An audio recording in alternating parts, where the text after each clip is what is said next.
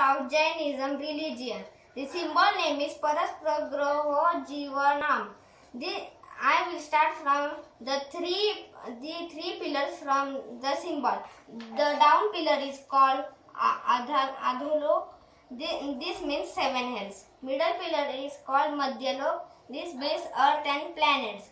And the upper pillar is called Urdhvalok, means abode of Si- Siddhvas. This is the topper.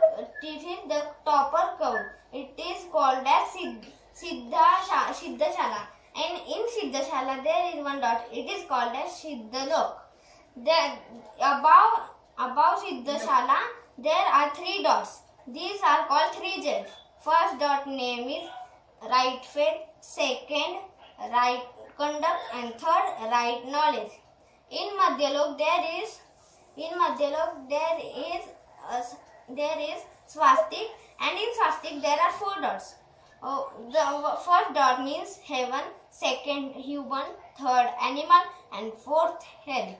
This hand is this hand represents stop violence and do, and and blessings. In the middle of the hand there is written ahimsa. It is also called as non-violence. In in ahimsa ou- outer line of ahimsa there is one circle.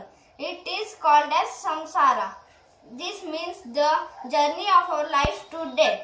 Thus, there are some, some spokes in this uh, samsara. They are 24. In they are they represent the 24 Tirthankars. Thank you.